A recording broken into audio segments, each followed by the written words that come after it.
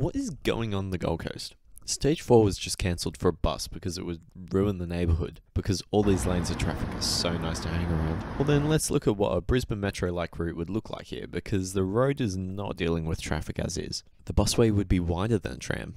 Drivers aren't perfect after all. Hold on, I don't have a Metro model. Yeah, there we go, perfect. Look at how no matter how long the tram is, it fits perfectly around this corner.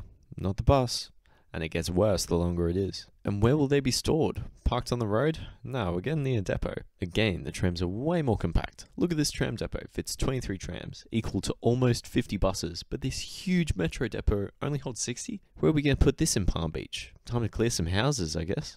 Oh wait, what's... You don't want to build any of this? Not even a bus lane, not even paint. Yeah, I know there's already a bus, but it gets stuck in traffic, that's why no one uses it. Oh, that's what you want?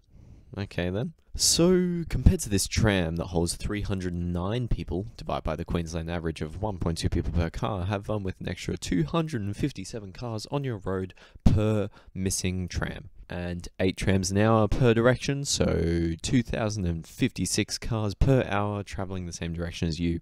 This is what exactly 2,056 cars looks like in a three lane queue starting at the airport. Six kilometres of piled up traffic going all the way to Palm Beach. All this could be taken away by just one lane of trams in a single hour.